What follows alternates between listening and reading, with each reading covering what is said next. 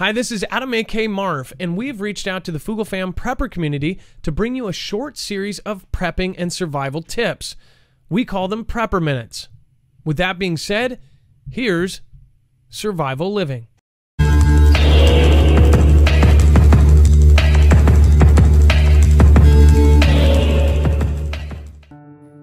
To create an emergency debris shelter, first take a long stick and place in a fork of a tree.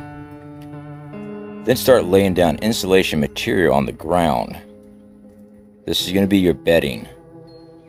Afterwards, take sticks and place them on both sides of your main beam coming from your tree. Kick them off at an angle. Now start putting debris on the outside of the sticks. This will help protect you against rain and wind, also snow. Once it's completed, and go ahead and have a look on the inside.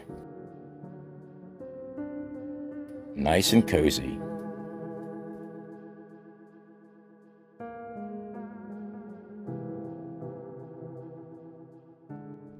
Thank you for watching this Prepper Minute. If you liked the creator you just saw, make sure to go down to the description and show them some love. Like, share, and subscribe, and then head on back here.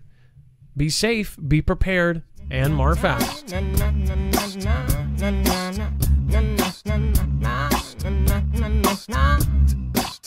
Feed the haters to the alligators. Your way or the highway, see you later. B.O.D. is the homie and Mr. Vader.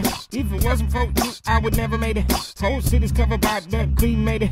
Now they listen to what we were saying. Doesn't matter if the manufacturer or created. Put now, put later, responsibility and underrated. They just won't say it. Seal the cities like the bricks they be laying. Twitter deaths is now displaying. School shut down and they just ain't playing. People panicking, freezing like a mannequin. Miss we be smashing them.